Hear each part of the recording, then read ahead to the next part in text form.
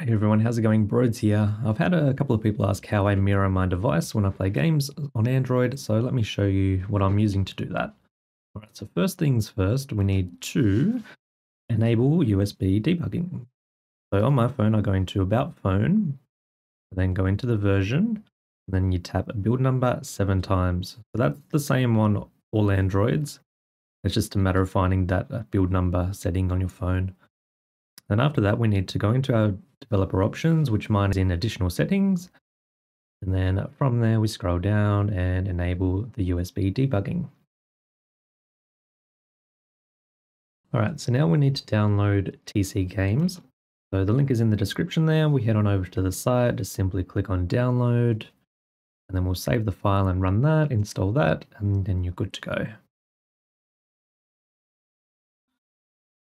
So let's open up TC Games. Mine's going to auto load into my phone. Yours will install an app onto your phone and then you have a couple of options to go through. Just follow through those. It's quite straightforward. And here we are. Into my phone. Now we've got a couple of options here. There's got all the options on the sidebar and then up the top here in the settings. These are the main ones for the quality. This is what I'm using to get a nice smooth stream. So as a VIP, you can play around with all of those as you wish. Now, let's hop into the key settings. To use these, you just simply just drag and drop. So we just drag and drop the joystick there. You can change the keys to whatever you wish. And then we can just do single clicks on the screen. In a key, you can also just drag as well, make drag cues. Along with that, you've also got some more advanced options. Um, here we also can share and download keys. So you can share your keys with other people.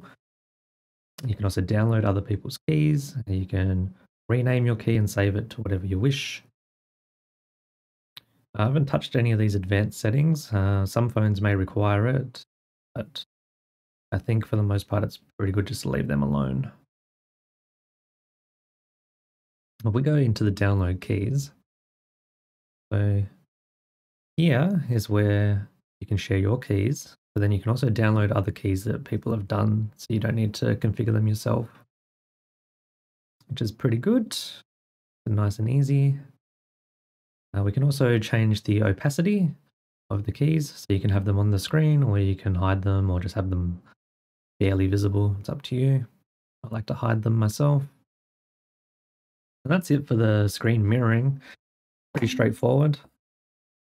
But then after that, you also need to do the audio. So for that, on Windows 10, I use Bluetooth audio receiver from the Windows 10 store. We'll just go in there, we'll grab that one. Just install that.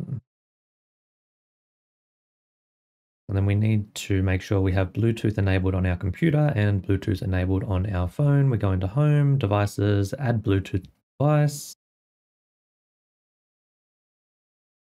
And then we click on our Android device there that's in the list.